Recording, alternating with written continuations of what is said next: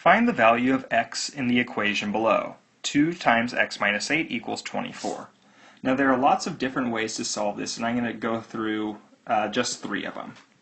The first way is we could see that 2 over here is multiplying both sides, or is multiplying this entire chunk of the equation. Now if I just divide both sides by 2, that means that this 2 goes away, and I'm just left with x minus 8 equals 24 divided by 2, which is 12. I could then add 8 to both sides just to find out that x is equal to 20. Another way I could do it is I could go ahead and I could actually expand the equation using the distributive property. I could say, all right, well I have this right here. I'm going to multiply 2 times x first to get 2x, then 2 times negative 8 to get negative 16 is equal to 24.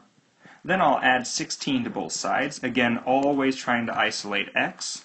This cancels out to 0. Now I have 2x equals 40. Divide both sides by 2 to find out again that x equals 20.